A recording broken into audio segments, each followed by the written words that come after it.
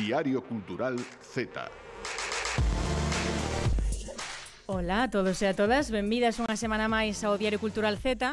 Hoxe falamos só esta servidora, Paula Cantelar, non vos preocupedes, non lle pasa nada a Clara, de feito está moito mellor que min, moito mellor que calquera de nós. Vos porque vos estades escoitando, entón vaya por Deus, e eu porque, bueno, pois teño que estar aquí ata que saia de traballar.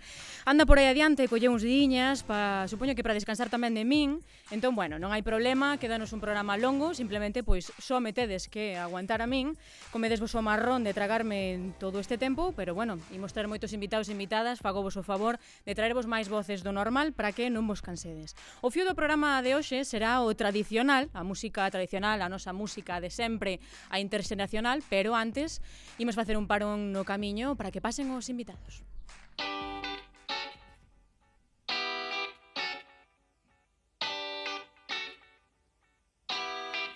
Oh, oh, oh.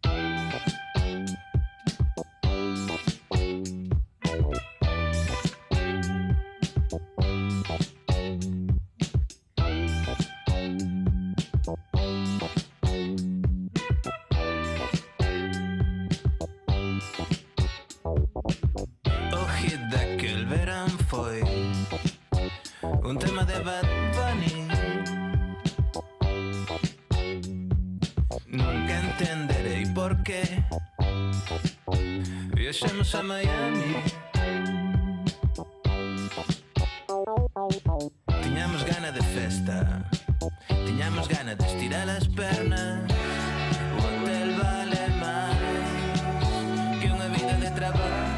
de nada, comentarvos que nos podedes escoitar, como sempre, todas as fins de semana, de dúas e media a tres en emisión na Radio Galega, menos cando hai fútbol, que aí, pois, perdón, pero nos non estaremos. En radiogalegapodcast.gal, en Spotify, iBooks, Apple Podcast, bueno, xa sabedes, en todos lados, e sempre que queirades se nos queredes ver as caras, tamén o estudo tan fermoso no que estamos, pois no YouTube, na televisión de Galicia. Ben, como vos decía ao comezo, o programa de hoxe vai do tradicional, imos falar coa xentiña, en primeiro lugar, que organiza a foliada da Fonsagrada. Teño a mí miña dereita para que nos este escoitando e non vendo a... Preséntate. Adrián. Adrián, teño a miña esquerda a Laura e Ángel. Hola, que tal? Hola. Hola. Primeiro, estades ben, que tal? Non hai nervios? Mm, no. Nada, no? Total, para falar algo do que sabedes moito. Sí, vimos algo mareados que Adrián... Hombre, non te pases.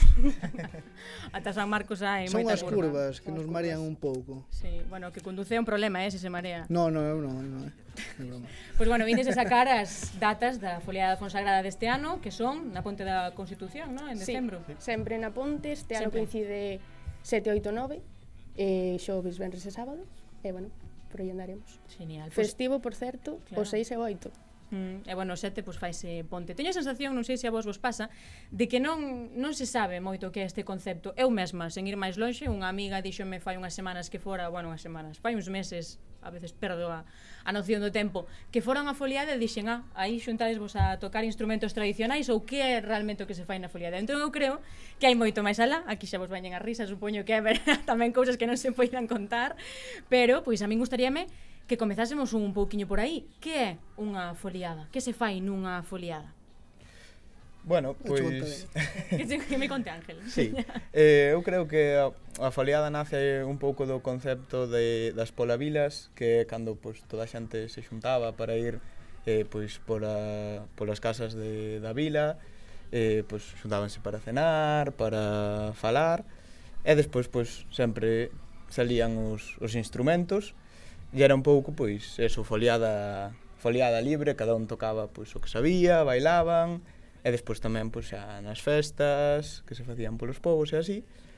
Entonces, pois, sí, nace un pouco deso e agora foi ampliando un pouco o termo e sí que é verdad que engloba máis cousas, engloba moitas actividades culturais, uh -huh. engloba obradoiros, aprender a facer instrumentos, tamén conexión pois ca contorna, ca zona, non so ser pois de zona de montaña, pois tamén nos influe moito eso, esa conexión co, co lugar do que do que somos. Mm, entón pode ir dende algo moi organizado ata pois que me xunte eu coas miñas colegas a tocar a gaita e a pandereta. Exactamente. De feito, mm. eu creo que esas son as mellores. Sí? As que son de imprevisto. bueno, na foliada, unha foliada grande, pois tamén conoces a máis xente e demais, non? Sí, sí. De feito, a de Fonsagrada non é unha das máis famosas, máis grandes. Bueno, claro, que mides sí, de... Oh, este ano ganamos o Martín Coda. Eso. Aí iba tamén, claro. Aí está o premio ao mellor festival. Mellor festival de mellor Galicia. Festival, eh, como vos sentides, claro, porque é que realmente supos sodes os que organizades a Folia da Fonsagrada, uh. non? Mm. Bueno, no nos nós e eh, outros cuantos máis claro, que sí, máis que non nos collen aquí Besos todos. a todos. Pero sí, Pero sí. Pero sí, sodes vos. Wow. Sí, Foi... a verdade que de imprevisto, eh. Sí. Totalmente. Porque de imprevisto. O sea, caeu vos aí... Codas. Ah, o Martín Codas. Digo, como lles iba a caer aí toda a responsabilidade de, de imprevisto? Oye, mira, mañan empezas a organizar no, pero a folia no, O Martín Codas sí que foi un pouco de imprevisto porque, uh -huh. a ver, competíamos, pois, pues, estuvamos, os tres nominados eran... Millo Verde o... e... Sí, o Canteira Fest. Canteira Fest. E viñan de ganalo, pois, pues, outros festis como Resu, Ortigueira, os revenidas, entonces, sí, bueno. que nós a, a ese nivel de orzamento non chegamos. mm, somos bastante modestos e modestas, humildes. Eh? Humildes, humildes. Eso de todos os chavales e chavalas así sí. da nosa idade. Sí, creo que sí, desde os 17 aos 28, 20, 8, vamos sí. poñer 30. Eso des moitos logo. Sí, sí, sí, sí, somos moitos. Somos 20, creo. Sí, a verdade que a ah, xente eh, a rapazada toda eh, siente como un orgullo de pertenecer a esta asociación. Sí? A esta festa, organizar esta festa en la que nun principio parece ser que por, así nos chamamos, pero tampouco lle destempo.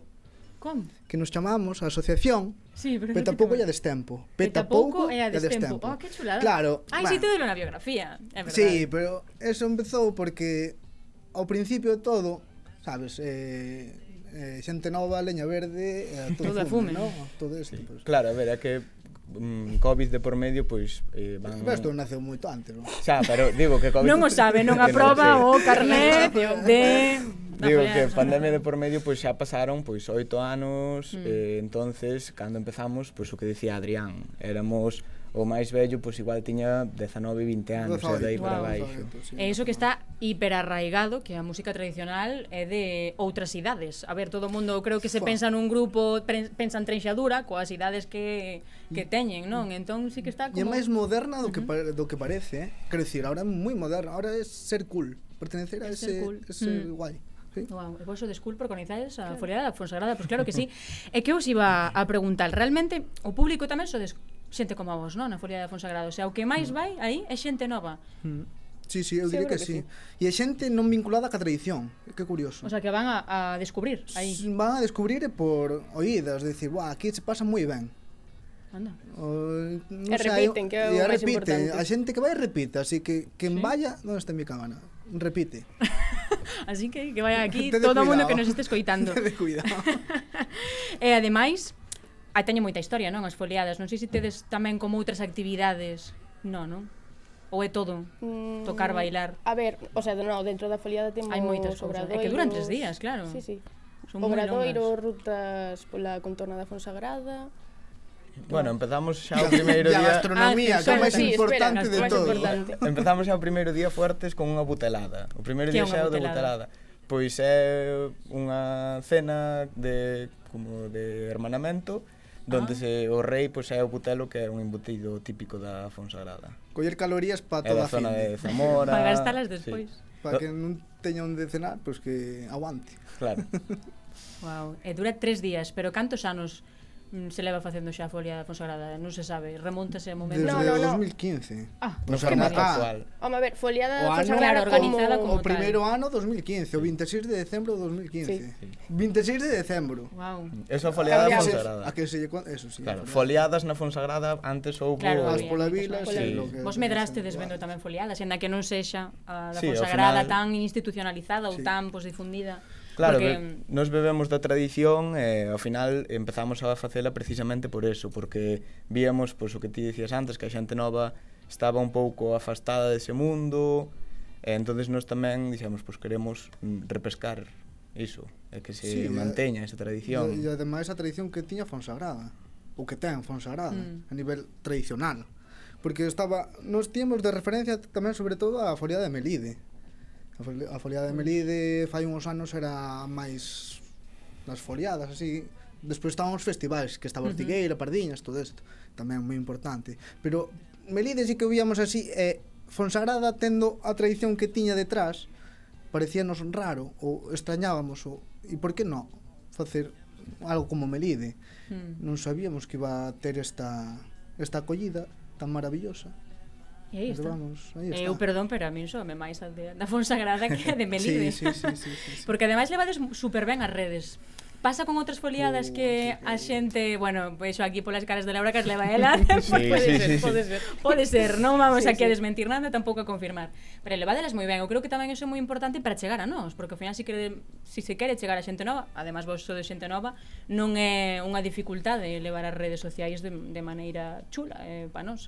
Sí, o sea, que... eu, a ver, eu creo que influen, pero tamén penso que temos un público moi consolidado que, o sea, falamos outro día que eu creo que podemos non subir o cartel e xa sabemos que imos ter Sí? Sí, sí, completamente. Xa o día, xa. De feito sí. de, o sea, dun ano para outro xa reserva xente, eh, o sea, temos o público xa fijo. Pero bueno, eso mm. que si a rede sempre axuda. Xa. E teles bonitas Ah, non é porque as, porque as leveu, eh? Non, pero sí. No, Laura é unha máquina neso.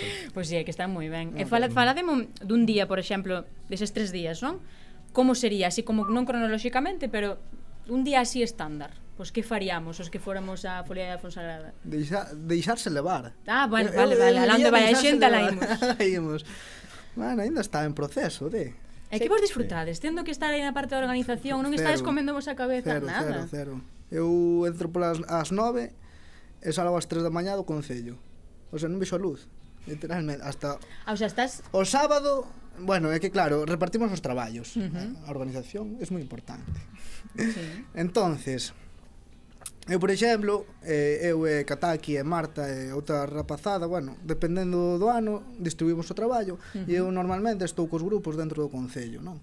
Así que eu me meto aí ás 10 da mañá e salgo a comer un pouco e despois hasta vexo algos concertos porque hai que velos. Sí. Xoves e venres, o sábado sí que xa es máis, eh, que faga deixarse outro. levar. Que faga eh. outro. No, estou aí, pero xa digo, bueno, o traballo xa está feito, agora xa toca mm. disfrutar máis. Vamos, que aquí disfrute Laura porque está grabando no, todo o tempo, non? Pas no, historias. Pero bueno, esta non hai novidades. Sí, que novidades hai? A ver, soltádenos aquí. Nada, vamos, vamos exclusivas. xogar máis aí que redes, dar máis contido pa xente que, que non este uh -huh. ali. E bueno, xa veredes, non queremos adiantar nada. Sí. Pero bueno, eu creo que dicir tamén que non disfrutamos pasamos moito curro, pero bueno, non podemos decirlo. faltar á verdade. Eu a Méndez deixo moito na barra, eh? Sí, eh, así sí, que... sí, sí, sí, sí. sí. Cando sai a comer. Curramos, ah, pero disfrutámola moito tamén. Sí. De outra forma, pero disfrutas. Sí, sí. sí. Claro. A, o sea, aportando, non? Eh, sí, eh, facendo sí. que medre, que evolucione como vos o fillo, a folia da Fonsagrada. Sí, vendo que a Fonsagrada chea de xente, vendo a xente pasalo ben. Sí, é sí, un orgullo, sí. Mm, pois aí tedes, a Fonsagrada, que non só ten foliadas eh, pois das tradicionais, que non só ganan ali o gordo da Lotería da Navidad, non vaiades só a por o que boleto tocou, que nos eh. conocemos. Eh, eso. non, nos tocou. Non nos tocou. Non fun ali a Fonsagrada un día. No. Queríamos financiar un pouco a foliada, pero non. Claro, non es que suerte. me cae a mí unha pedra. Eu fun aí atrás e dixen, pois unha destas casas é millonario ou millonaria, xa non estará na Fonsagrada ou estarán. Sabedes se siguen na, siguen sí. na Fonsagrada, védelos. Poucos quedaron, poucos quedaron aí. Pouco máis afora que dentro, pero sí. bueno. Pois pues aí está, foliada da Fonsagrada, xa sabemos as datas, a Ponte da Constitución, 6, 7, 8, non? Sí. Todo o mundo no, a facer a Ponte, 7, non? 7, 8, 9. 7, 8, 9. 7, 8, sí. 9, claro, sí. para que este aí o sábado claro. libre eh, domingo o compañeiro. para descansar, que falta fai. está. Bueno, e un ano de estrenos, uh -huh. eso é que hai que decirlo. Por que?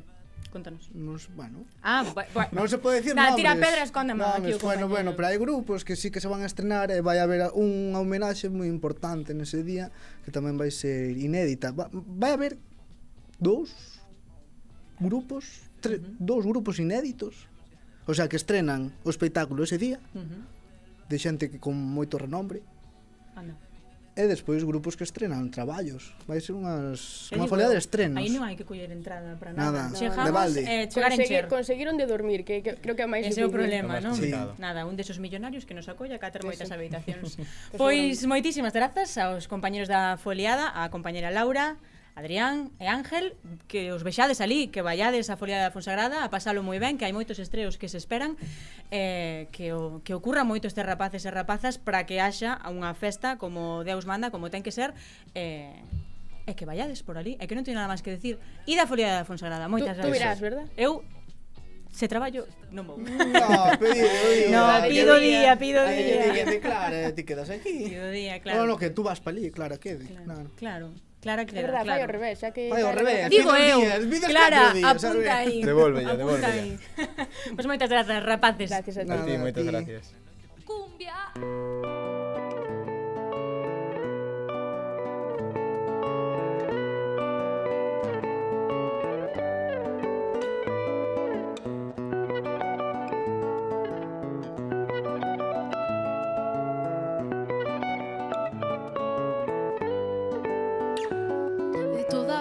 chamanme louca Só polo meu cantar De toda a vida chamanme louca Por andar a soñar.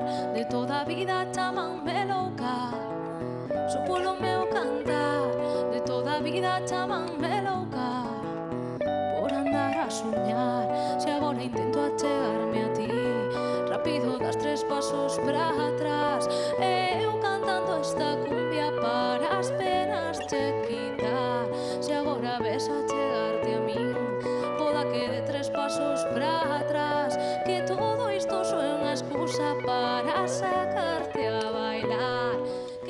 E agora seguimos, seguimos poñerlle unha visión experta a este programa co falando do proxecto Nos Nous, coa nosa colaboradora Ana Abad de la Riva. Hola Ana, que tal? Hola Paula, que tal? Moi ben. Que nos vas pois contar sí. logo hoxe.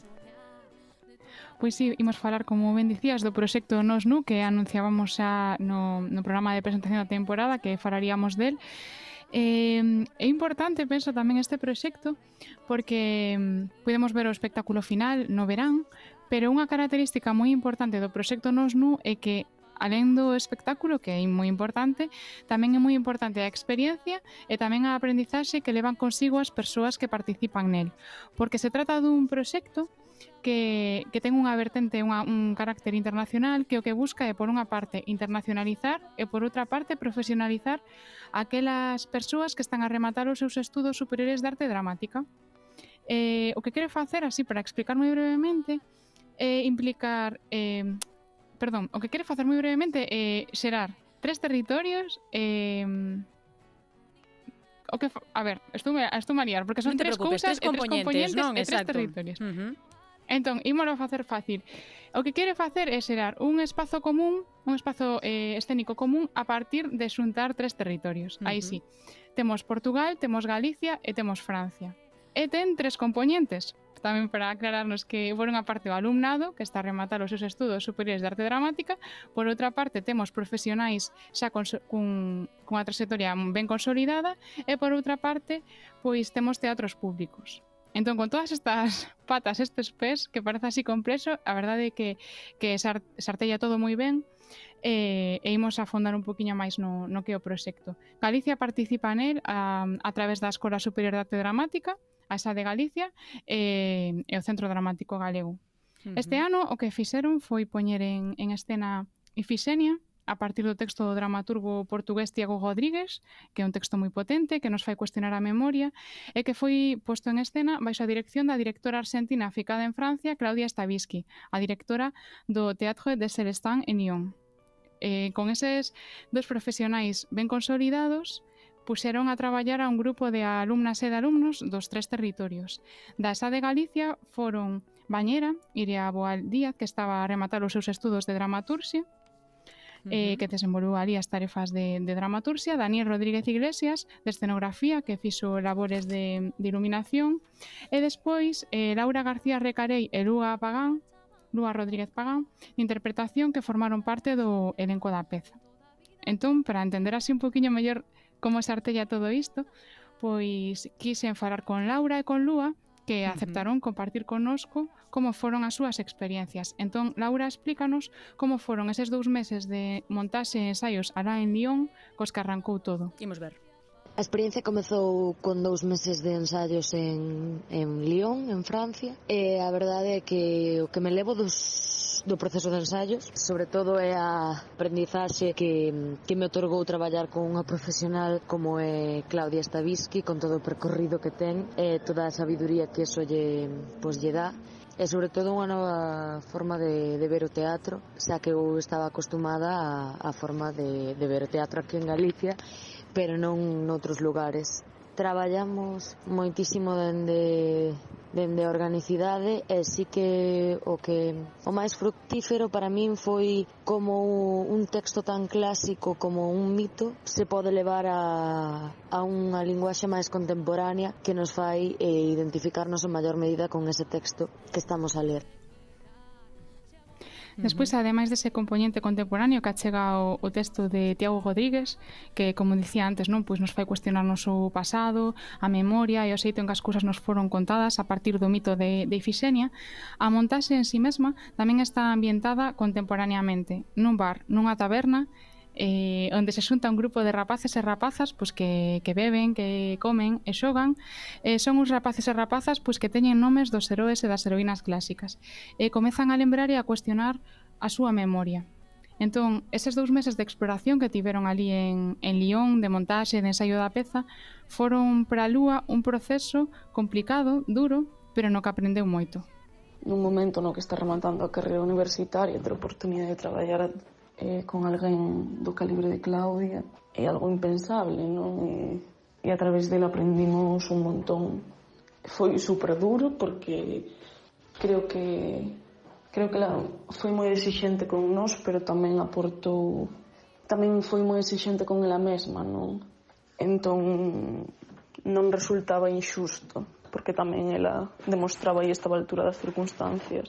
Foi moi exigente con nós, non nos deixou descansar un segundo, estivo enriba de nós, e puxo nos retos a ninguén, creo que a ninguén lle deu o papel que quería ou que se lle daría millor así de primeiras, a non que lle deu o papel que necesitaba, non? O papel que lle faría traballar nas cousas que lle facían falta traballar, o cal foi unha locura ao principio, non?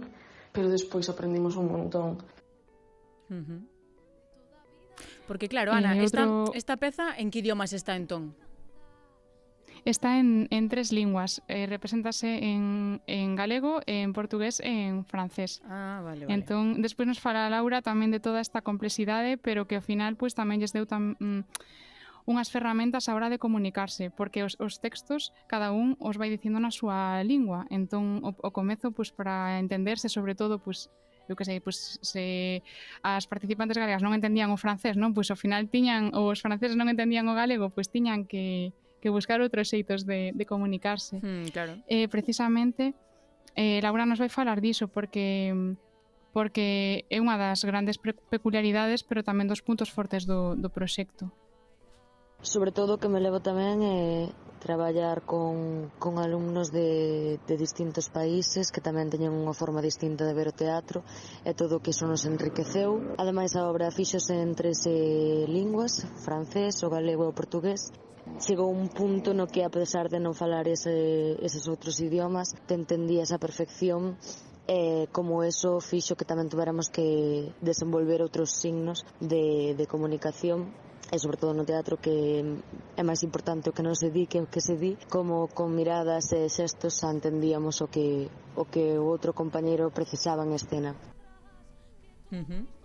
Está aí, sí, esa cuestión lingüística que, que é moi interesante, o enriquecemento cultural que ten tamén pois convivir con, con persoas de outras, outros lugares, que teñen mm. pois outra visión ante as cousas e, sobre todo, outra visión tamén eh, a hora de facer teatro e de facer artes escénicas, porque teñen pois cada unha a súa formación, mm. as súas vivencias. E, e Ana, disto nos fala... Claro, Lua. entón, por ¿Mm? exemplo, ¿Mm? co, co tema das linguas, non sei se ti veches tempo para que che contar ou para preguntarlle, esa Um, eso extra que tiveron que facer para entenderse entre elas, a ver se si me dou explicado eu.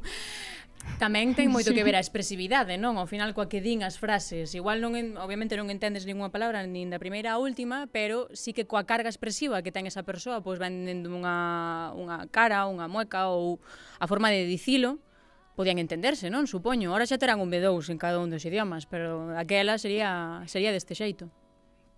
Sí, eu estive na, na función e eh, falara ah, despois vale. estiven tamén levando coloquio pois función que se fixo en, en Santiago no, no Salón Teatro e falaron disto e eh, xusto o que diste toda a parte expresiva, toda a sexualidade a, a parte máis humana non de mirarse xa eh, e saber o que a outra persoa precisa ou quere é algo que desenvolveron tamén de maneira forzosa e mm. tamén mm. polo, polo propio traballo, sí. Eh, Entón, é, un, entón dis... é, un, é un plus, non? Entón, claro, mm. dis que Lúa tamén aprende outras formas de traballar, non? Tamén xo contaba... Sí, falume de como, sí, falume de como en cada escola se aprenden eh, métodos, eh, mm, formas de traballar diferentes e tamén a cuestión cultural influe non en, en traballar de, de, de modos diversos. Eh, ela explícanos como foi isto. E despois xa o feito de ter uns compañeiros que foron increíbles, tivemos moitísima sorte, pero Creo que cando estás estudando na escola aprendes un estilo de interpretación, non? Como que cada escola, ainda que ensine diversas técnicas e haxa diferentes profesores, cada escola vai como creando o seu propio estilo de ensinanza e unha maneira de traballar concreta. Eso está, por unha parte está moi ben, pero por outra parte moi perigoso porque porque chegas a cuarto e estás super cómodo traballando coa xente coa que te formaches porque falades a mesma linguaxe creativa pero no momento no que saías da universidade iso non vai ser así, non? Entón poder ter esta experiencia de proxecto nos, estar con xente de diferentes escolas que traballaban de maneiras totalmente diferentes a nosas, estilos totalmente diferentes. Foi un choque cultural moi grande ao principio, as primeiras semanas estábamos totalmente desubicados, pero foi para min creo que a min deu-me unha versatilidade no traballo, non un deunos unha versatilidade, unha capacidade de adaptación e de cambio que creo que é a verdadeira profesionalización que te do proxecto nos, non? Sí, eu creo que é moi importante o que o que está a contar Lúa, non? Porque moitas veces remata os seus estudos e máis dunha dunha carreira, non, como é a de arte dramática, que é moi práctica e faz as cousas na escola, está moi ben, pero mm, despois saes eh, o traballo profesional, as, as necesidades, as exixencias, as, as realidades, pois baten de fronte contra ti. Entón, penso que é moi interesante non ter esta esta posibilidade non de traballar con xente que xa ten unha trayectoria, de enfrontarte pois, a unhas circunstancias profesionais que despois vas ter que vas ter que coas que te vas ter que enfrontar cando saias realmente, porque este é o proxecto final de estudos para estas persoas, para estes alumnos e alumnas é o seu proxecto final de estudos, entón é como a a porta claro. a sair xa a profesión. O último baile antes de, de meterse no mundo laboral, sí, exactamente. No mundo profesional laboral, sí. E esa versatilidade e capacidade de adaptación da que nos falaba a Lúa ven reforzada tamén en canto a que o proxecto inclúe tamén unha xira, que é o que falábamos, non, non se ve eso nun sitio, unha única función e xa está. Eu vina, como decía antes, no Salón Teatro do Centro Dramático Galego a finais de xuño, onde fixeron dúas funcións, pero estivo tamén en Lión, en Porto, en Torres Vedras, con varias funcións tamén, e iso lles permitiu, como nos explica Laura, que a peza tivese unha evolución e que elas puidesen enfrontarse tamén a diferentes espazos e, e circunstancias. E despois fixemos unha, unha xira por Francia, por Santiago e por Portugal, tanto en Oporto como en Torres Vedras. E mm, da xira o que me leva a miña primeira experiencia profesional de ter que rodar unha, unha peza de teatro e facela varias veces durante varias semanas e iso obrigache a estar sempre activa a vivir a obra cada vez dunha, dunha forma distinta porque tamén cada vez vai cambiando e variando o público e como eso che enriquece e como cada vez faz máis túa a peza de, a peza de teatro. Así que nada, esa é a miña experiencia e obviamente o proxecto nos recomendadísimo para iniciarte no mundo profesional do teatro. Pois está ben deixar aí esas experiencias e aprendizaxes así como esa recomendación tamén para, para o alumnado que estea próximo a rematar os seus estudos superiores en arte dramática. Eh, quería tamén lembrar que ano pasado aquí no Z xa faláramos do proxecto Nos Nu, que faláramos co, co director Diego Chamizo, que participara o, o ano anterior eh, na montaxe do Tartufo, que fora a peza que fixeran en 2022, e precisamente este verán en o verán de 2023, outra das estreas que eu fun ver foi precisamente a da peza completa de Menudo Día do colectivo Chamizo Bello Vira, dirixida por el, por Diego Chamizo e por Alberto Bello, da que nos falara no programa, se alguén quere aí rescatar ese podcast, que foran amosando en proceso a peza e pois que agora se, se puido ver finalmente completa na Mostra Internacional de Teatro Cómico Festivo de Cangas. Eh, penso, Paula, que, que é fermoso non ver como as artistas, os artistas que pasan por aquí, non? Eh, emerxentes, pois eh, van evolucionando ao mesmo tempo cos seus traballos e como os proxectos pois se materializan, eh, as pezas en proceso tamén, e eh, dendo Z pois seguiremos a, a estar moi atentas. Aquí seguiremos e tamén atentas ao que fagan estas dúas rapazas que, que participaron no proxecto Nos Nou, non? Ese proxecto mm. internacional que xunta pois, eses tres países, Francia, Portugal e Galicia, bueno, unha comunidade autónoma, e, eh, por outra banda, tamén os profesionais da escena con diferentes trayectorias, non? Tanto estudantes como efectivamente teatros públicos e persoas con longa trayectoria. Pois quedamos así. Eh, moitas grazas, Ana. Vémonos en próximas colaboracións. Nos seguimos no, nos seguimos no programa, seguiremos falando do tradicional, como dixemos ao comezo, pero antes, unha pequeniña parada no camiño.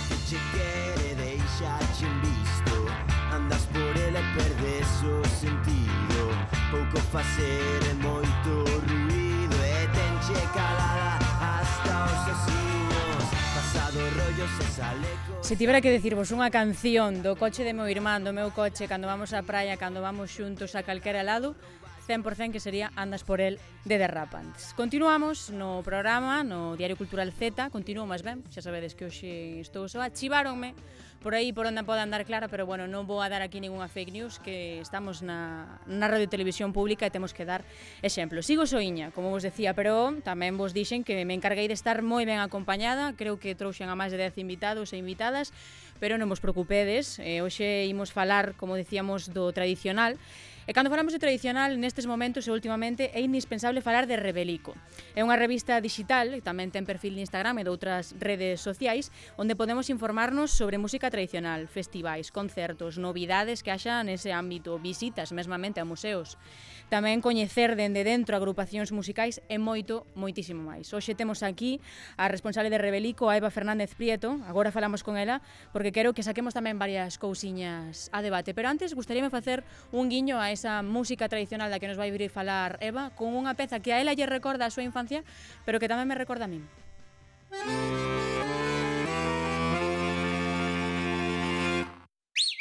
Música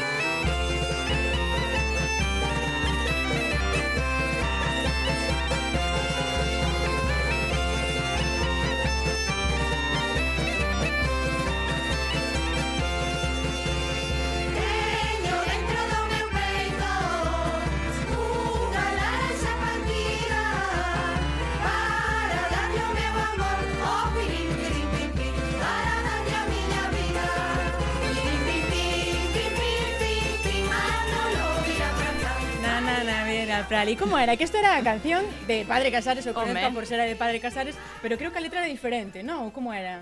Non tiña que ver co de con Santo Antonio de Sí, Lourido? sí, creo que modificaron algunhas partes para, para o programa. Ah, que era Don Crisanto di que non, Don Horacio di que sí. Efectivamente. Que serie. Que maravilla, entre pratos mm. combinados e Padre Casares eu non pasei páxina nunca.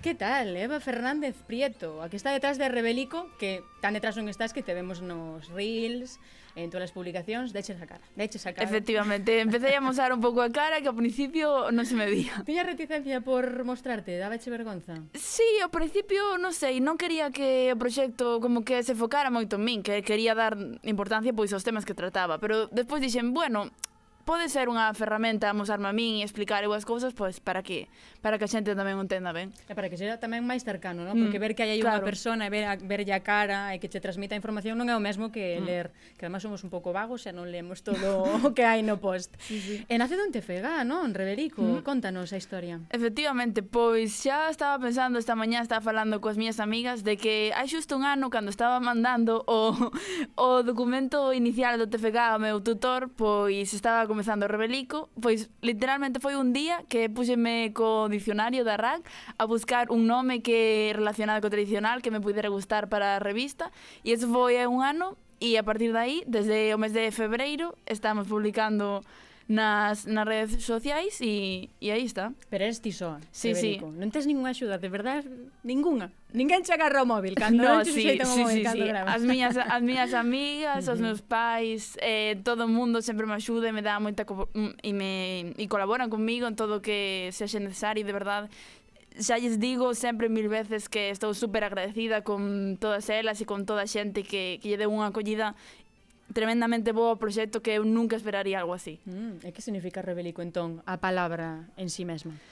Pois rebelico ten varios significados. O primeiro pode ser como un detalle, así como un adorno, por exemplo, un talle na, na pel, por exemplo, ah. nas zocas, ou despois tamén pode ser é un sinónimo de gubia, que é unha ferramenta que se utiliza para tallar a madeira. Ah. Entonces, e, gustoume o esa palabra porque tiña así varios significados e no fondo significa tamén como un detalle, algo que está feito con mimo. E, mm. e eu considero que tamén que fago con moito cariño este este proxecto e considero bastante adecuado. E, e así tamén original. E que significa para ti, xa deixando de lado un pouco pois a nomenclatura, que significa para ti rebelico? Porque ahora que penso que xa non é un TFG e eh, quedou aí, claro. no, no, no, ahora ahora sigue adiante e e a donde a donde me leve isto non sei, é algo converteuse en pouco tempo como nunha parte moi importante da miña vida na que invirto moitísimo tempo e que mm. deume e deume e dame moitísima satisfacción E, e traballo, sei, dío, sí. que está como no, un fillo, sí, hai que parilo. Traballo bastante, literalmente. Eu sempre digo como é o meu bebé. A veces pode incluso chorar, eh? Oye, no, sí, sí. aténdeme aquí, sube algo. Sí. Eh, xa pensabas expandilo no tempo ou realmente dicías nada, estocando presente o TFG ala por xuño, aquí se queda, aquí quedou, foi unha etapa e así como pecho a universidade, que penso que non a pechas, pero bueno, así como pecho polo menos xornalismo, pois aquí queda tamén Rebelico ou non, xa decías, non, isto vai ser para lar, para longo e para onde me leve. Sí, sí, sí, xa dende un principio pensaba seguir máis adiante o TFK, que o TFK fora como o principio, como para mm, facer as bases do proxecto e que a partir de aí, pois, que seguir adiante. Nunca, nunca lle puxen fin un tempo limitado así me gusta. É mm. que estas cousas saen así. Sí. É como, aquí sempre ven alguén que, no, foi por casualidade. Foi toda por casualidade. Facebook nace por casualidade, aquí unha conta que triunfa nace por casualidade. O teu foi un pouco premeditado, premeditado mm. pero mira, aquí estás. Pues sí. E, dende cando estás ligada ao tradicional e como é a túa relación coa coa música tradicional, co baile e demais? Pois o tradicional eu empecé a, ba a bailar, baile tradicional, uh -huh. e a tocar a pandeireta, pois cando tiña seis anos máis ou menos no Fiadeiro en Vigo, porque eu son de Vigo, e comecei cos meus pais. E eu sempre sempre reflexiono que para min empezar no tradicional e o xornalismo como que foron ligados porque eu comecei no, no fiadeiro a, a aprender a tocar a, a pandeireta e a bailar porque meus pais viron un anuncio no, no xornal de que o fiadeiro pois estaba facendo xornada de portas abertas e dixeron, bueno, pois vamos a, a probar aquí porque miña nai xa bailara de, de pequena uh -huh. e tal entonces eh, decidiron, bueno, pois vamos a probar entonces como que foi que a través do xornalismo, que tamén cheguei a esta parte e como que son dúas cousas que me gustan moito e pois en Rebelico como que están xuntas. Wow, que circular todo, non? Sí, sí, eh, Comezas que... polo xornalismo, acabas xornalismo mm. debéndolle mediante Rebelico mediante este sí. detalle, porque mm. ao final, mira o que comentas, é como un regalo cara caro que che fixo comezar. Pues sí. Que bonito, que mm. bonito. Mm. Eh, que divulgas realmente? Porque claro, aquí a xente dirá, pois pues é unha conta na que suben ou resuben, no, o mm. contido mm. de outras pois dunha asociación ou da foliada da Fonsagrada, non? Que suben as datas, pois resúbelo, no, ti fas xornalismo. Aí está a diferencia. Non difunde simplemente, non é unha canle de difusión Rebelico para que non queira seguir. No, Rebelico crea contido. Que contido crea Rebelico entón? Pois eso que comentabas que aparte de, por exemplo, resubir nas historias, por exemplo, as datas da foliada, por exemplo, uh -huh. Eh, pois no, na parte dos reels ou vídeos ou publicacións e tamén nos artigos da web, pois eso, eh, fago xornalismo ou reportaxes, que é algo que me gusta moito facer reportaxes, por exemplo, esta última que está publicada na web foi sobre o Festival Intercértico de Lorient, no que hubo unha grande representación mm. de Galicia e falei, conseguí con contactar con, Yago, ¿no? sí, con Yao Castro, que é bailador da, da Pontevella, desde aquí un saludo, eh, e conseguí contactar con bastantes grupos que foron ao festival e pois iso, todo o que subo son na, na web esos reportaxes, así como máis profundos para a xente que poida parar a ler todo iso. E despois nas redes, pois vídeos, como xa comentaches antes, pois de unha visita ao Museo do Pobo Galego, por exemplo, un resumen dun festival tradicional ou dun concerto, ou tamén entrevistas a, a grupos. Hai moitas e cousas. E trends, porque o de Ping Pong con sí, sí. ese é boísimo. o das 30 cancións mm. durante 30 días que é de onde... Só que efectivamente o de Perín Pim Pim vin aí a Eva e dixen de recordo desbloqueado. Eh, como te organizas? con tanta cousa, tanto que tens que facer aí, ten o calendario aí, chu, chu, chu, e vas escribindo, sí, de verdade. Ou é, pois apetéceme isto fago, porque ao final eres a túa propia xefa, pro bo e pro malo, pois pues para sí, todo. Pois pues sí, pois pues sí. É que, como para min, o tradicional en Rebelico pode ser un traballo, entre comillas, por dicirlo así, tamén é a miña afección, pois eh, normalmente fago eh, gravo e, ou saco fotos de todos os eventos eh, tradicionais que, que vou, xa non só de música ou baile tradicional, tamén, por exemplo, de gastronomía, de, de outro tipo de tradicións, como, por exemplo, que fun a, a unha aldea de Puxedo en Lobios, que tamén ten un museo etnográfico rural, pois no, o, o povo, a aldea, é un museo en sí. entonces por exemplo, mm. cousas así e retrato todo iso. Mm. O sea, que eres, eres literalmente a conta de cultura de, por ref, de referencia de todo o eh, mundo. E quería quería abrir un debate contigo, isto que che comentaba, a ver, tampouco é un debate, senón que quero saber a opinión dunha persoa que sabe do que eu a veces, pois pues, como que parece que vou vislumbrar un argumento, non? Claro, agora falamos de mm, como do novo tradicional ou decimos que o tradicional se recupera pois a raíz de mm, artistas estupendos, estupendas como fillas de Cassandra Mondra, porque collen o son tradicional e o misturan con sons novos, mm. pero o tradicional de sempre non morreu nunca. Claro que non, eso sempre sigue adiante, xa sexa isto a través deses artistas que están inspirándose na tradición para construir novos proxectos e que así a tradición tamén sigue evolucionando e depois tamén están as, as foliadas de, uh -huh. de toda a vida, a pura tradición ou as asociacións máis folclóricas que poden variar un pouco a tradición ou a veces facer algo de espectáculo, pero a raíz, a tradición sí que segue presente e, e nunca morre, nin nunca vai morrer, sempre vai seguir eh, pois evolucionando. Claro, o sea, está a música tradicional polos instrumentos mm. tradicionais, mm. despois que se vayan inspirando outros neses sons, neses instrumentos e misturando con outros, pois pues, leva a un novo xénero, pero a mm. música mm. tradicional é a que hai. Claro, non? sí, sí, sí. Pois pues mira ti, pois aí pois quedades con esta mensaxe que se eu tiña a dúbida, vos tamén a tiñades. alguén, alguén a tiña que ter. Eu teño que representar a unha mínima parte da poboación que non se enteraba disto, Eva. pois moitísimo moitísimas grazas, que Rebelico siga medrando. Gracias. Eh, chamamos aquí, facemos un chamamento a que todo o mundo pase agora mesmo. Xa, a saídes de aquí, borrades isto e ides a, a seguir a Rebelico, que se chama Rebelico, tal Eso. en Instagram. Rebelico Revista en uh -huh. Instagram, TikTok e Facebook. E na páxina web, se si lle queren botar unha ollada a todo o que está aí publicado, tamén benvido sexa. Pois pues mira, de aí te dei a promoción. E eh, mira, súbeme aí, German, súbeme aí o Perín Pim Pim, e marchamos con Perín Pim Pim e despedimos a Eva. Pim, pim, pim, pim, pim, pim, pim.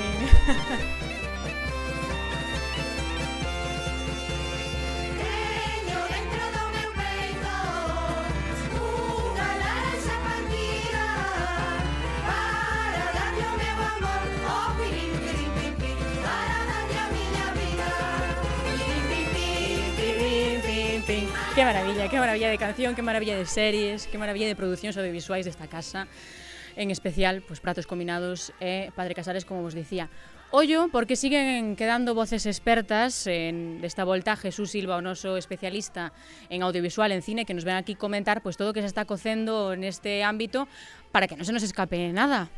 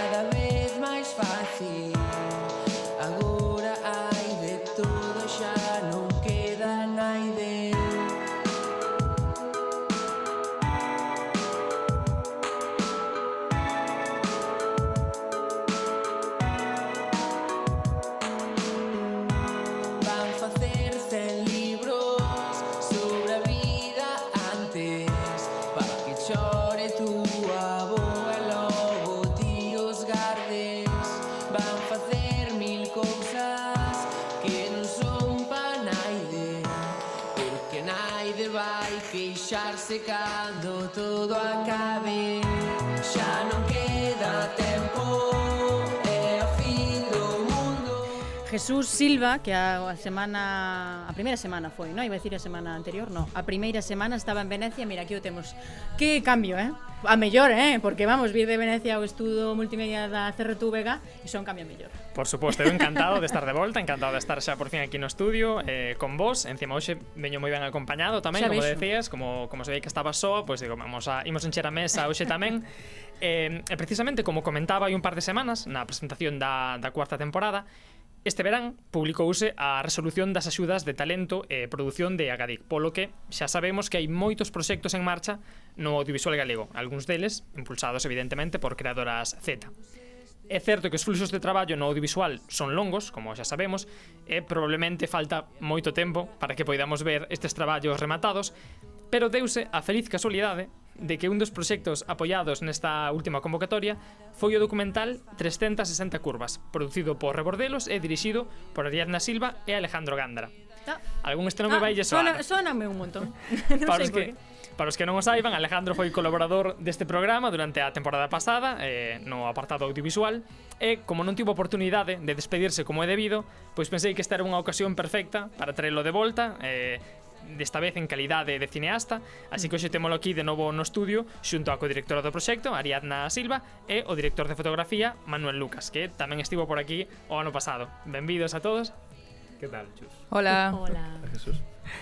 Pois nada, Paula, eu xa sabes que habitualmente na miña sección o que adoito facer é pasarlle a mm. pelota á presentadora do programa para que faga un pouco as presentacións, un breve resumo biográfico do, dos convidados, pero penso que nesta ocasión ben pode encargarse Alejandro, se ti che parece ben. Ai, a mí parece estupendo. Amigo que sea que traballen os demais por min, Jesús, vaime moi ben.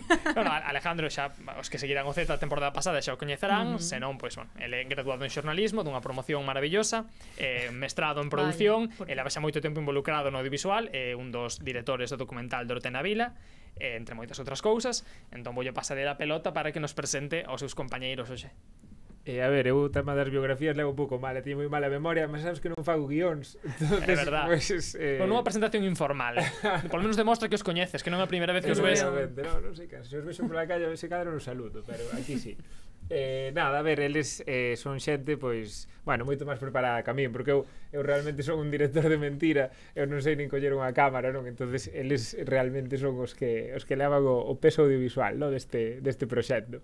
Eh, e nada, son son Ariadna e Manu, eh, Ariadna, bueno, é cineasta, eh, é fotógrafa eh, tamén, eh, coa mirada así documental, entre documental e experimental, no? que, que está moi moi guai, moi interesante. Eh, e Manu eh, pois é eh, o dire de foto eh, ten unha mirada mm, maravillosa e eh, ademais é un musicazo ao mesmo tempo, pero estivo aquí o, o ano pasado. Eh, e eh, eh, bueno, nada, eu confío moito neles para pa sacar adiante este proxecto 360 curvas eh, que ademais eh, é un documental que se dá na, na é unha historia da Fonsagrada, no? Eh, ten ah. moito que ver ca, ah. ca foliada, de feito, eh, Méndez, Adrián Méndez, que está por aí sentado, eh, pois tamén é o, o xefe de, de produción, no? é o realmente o que empezou con toda esta movida. O sea, ahora vos imos preguntar sobre todo iso Porque é certo que hoxe case podíamos facer un monográfico da Fonsagrada Verdade que deis sí. unha, unha casualidade moi, moi bonita con iso Pero efectivamente, imos xa o tema Falemos entón de 360 curvas O proxecto documental no que, no que estades traballando Non é unha cifra aleatoria, por suposto E podedes explicarnos a que fai referencia este título Pois mira, 360 curvas son as curvas que hai na estrada que vai de Lugo cara a Fonsagrada. Oh, contadas, de verdade, o sea, está empíricamente comprobado que hai 360 bueno, curvas. Iso din. Tienen ah, que bueno, confirmar aquí, que pero... por aí, eh, unha, dúas, tres, chegades ás 360. Día que facelo. por iso se mareaban tanto os da Fonsagrada cando viñeron ah, até que ao estudio. Ah, pensaba que claro, era Marcos. Vale, vale, 360, bof eu, eu quería saber un pouco que nos contardes cal é un pouco a intención principal eh, do filme, non? Para, o, sea, o, o título é certamente evocador, pero que podemos agardar deste proxecto que, como dicimos, aínda está en fase embrionaria, acaba de recibir esas axudas de, de talento, entón, pois, queda moito traballo por diante, pero cales son as intencións agora mesmo? Bueno, igual era bo empezar a contar sí, como xurdiu a partir sí. de aí ver a evolución do proxecto. Pues... Creo que mellor falas ti. Sí. Claro, o tema foi que pues, Adri eh, Adrián Méndez, que estaba antes aquí, que nos enseñou un, enseñou a min un arquivo eh, dunhas movidas, que eles chaman ali as movidas, que pasaron no ano 91 e 92, Uh -huh. E eh, eso foi como un pouco detonante de poñer o foco na Fonsagrada, porque claro, eh, houve un peche ali, bueno, pasaron cousas eh, dentro do Concello mm, moi importantes para, e para toda a comarca da Lida Fonsagrada, entón, eh, as movilizacións que tiveron e a forza con que fixeron todo iso e que eso quedara registrado eh, pues, pues chamou moito atención eh, primeiro de min, despois dos meus compañeros que se foron sumando ao proxecto e, e que pasa? Que na Fonsagrada, como ben mencionaban antes, hai unha riqueza tremenda, cultural e, e de todo tipo entón eh, tamén ver esa, a, o corte de despoboamento que houbo precisamente dende esa, dos 90 ata agora e, e ir un pouco ao foco dos problemas que puideron ser ese despogamento e, e os problemas que había co, co goberno daquela tamén. De feito, en, en relación con este tema, temos un pequeno teaser do proxecto que se, que se presentou eh, para aqueles que poidan que vayan a velo ao YouTube e os que non, pois imos, imos escoitalo.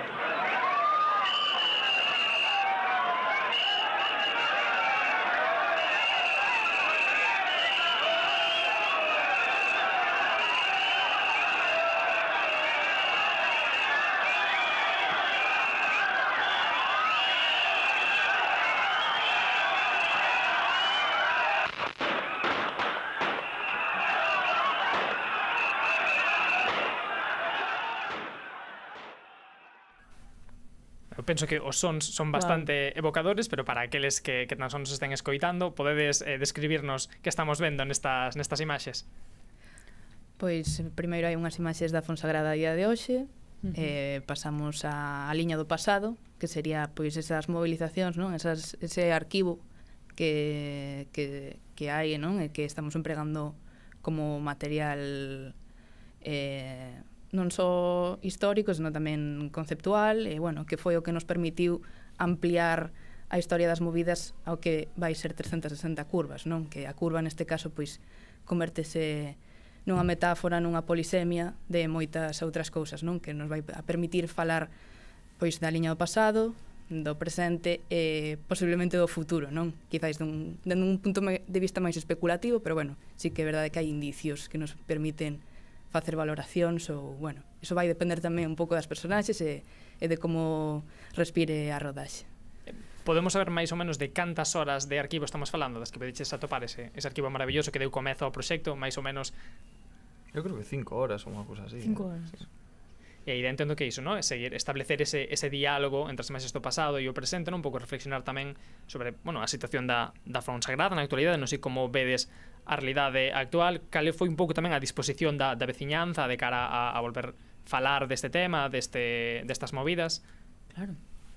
Eh, o, o tema do arquivo que falabas antes foi gracias tamén a un, un fotógrafo que se chama Fernández, que é un fotógrafo dali, que estuvo que foi o que nos, nos axudou tamén e recuperou, volveu outra vez ao arquivo a recuperar iso. E despois, cando falamos ca xente, pois un pouco de reticencia tamén ao principio, pero bueno, ao final é algo co que um, creo que se pode saca, eh, sacar peito porque um, pese a que, bueno, conseguiron algunhas cousas, outras non, eh, mantivo o povo bastante bastante unido. O sea, falam, falo de unha maioría moi amplia de xente que, que simpatizaba co, co tema, e, e a maiores que era poñer de, de relevo esa, esa problemática que claro, daquela, o sea, son 30 anos e hoxe pois son parecidos os problemas que hai tamén. Pois Vamos a decir que case un, un, unha situación case pioneira, no? Do que agora, bueno, vense chamando como a España vaciada, no? Todos, todos estes, bueno, traballos e, e, e novas que, que recibimos a diario, no? Sobre, des, sobre despoboamento no, no rural, en que este podería ser un exemplo paradigmático, ademais de, bueno, de loita veciñal para intentar uh -huh. frear isto. Uh -huh. Eu quería saber un pouco a nivel, un pouco xa máis a nivel de, de formato, tanto Ariadna como, como Mano, como dire de foto, ca, que, que podemos agardar, digamos, o documental nese sentido, non? Sabemos que eh, agardamos ver moitas desas imaxes eh, rodadas hai 30 anos, pero con que agardades eh, combinar o que esperas a nivel de, de estilo, presentar neste documental, cal é un pouco a idea? Pois o, o título vai un pouco por aí, non? De feito, eh, cando eh, Manu e Alex me presentaron o proxecto, non? Xa fai algo máis dun ano, eles xa levaban tempo traballando no proxecto, e, sobre todo na parte de arquivo, non, do documental, e, bueno, foi cando eu vin as imaxes estas e quedei prendada, basicamente, non? Dicir, aquí hai unha historia que hai que, que, hai que contala.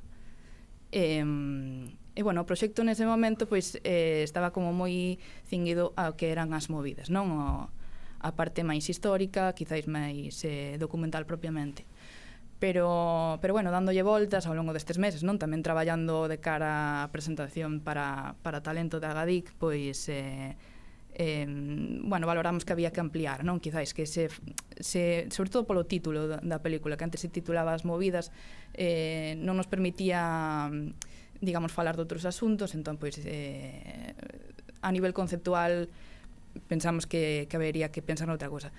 E, e bueno, foi aí cando xurdeu a, a idea das 360 curvas que, que aparecía nun dosier anterior e, e bueno, foi cando, cando vin esa cifra pareceme como moi eh, moi paradigmática, moi sintomática tamén do que, do que significa a distancia, non? Eh, mm eh, a moitos niveis, tamén a curva como unha representación na paisaxe, na montaña, non? a curva pensando tamén como a curva de, da poboación, non? Unha curva que, que cada vez é máis descendente. E, e despois eh, tamén pensando a curva como, como conflicto en alusión a as curvas, digamos, gráficas dos, dos terremotos, non? De, de alusión do, do ter, nun terremoto dunha representación visual e eh, ao mesmo tempo pois eh, facer análoga a que eran as movidas, non? Como a montaña móvese, a xente móvese.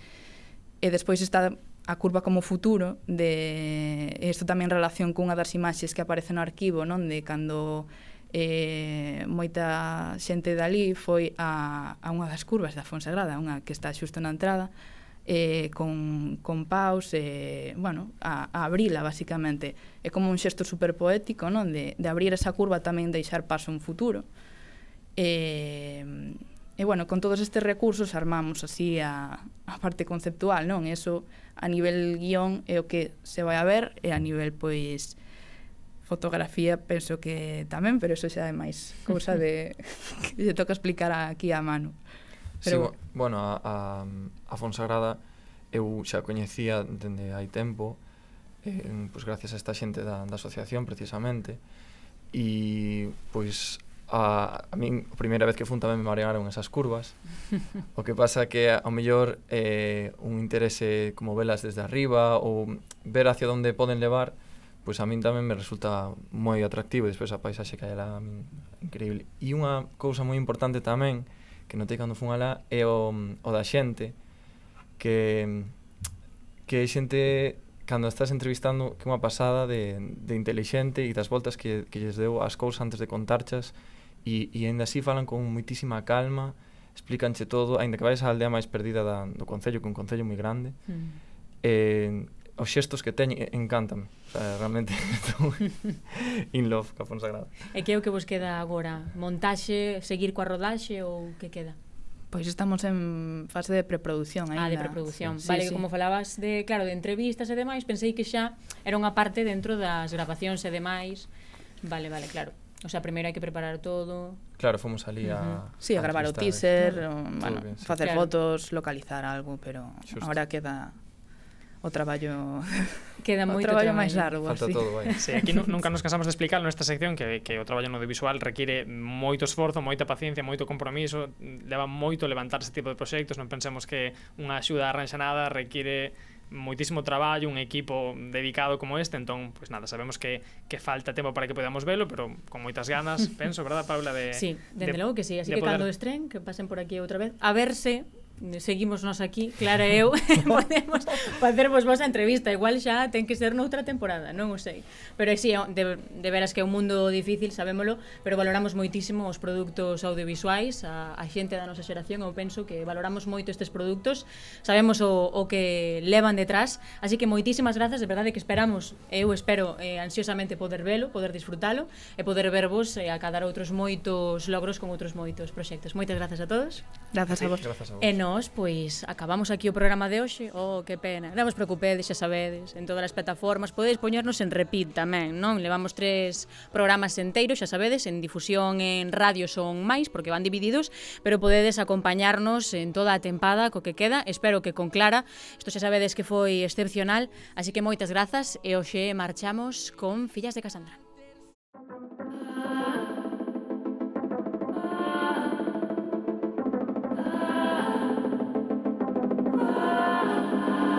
Mirasme na disco, eu xa sei que tiras. Todos orbitando como velaíñas Non te pegues tanto, non quero movida. Que para defenderme sobre máis amiga A terra estío no perreo sola. Que se bailou, xa bailamos todas. A noite reclama é a nosa hora Importa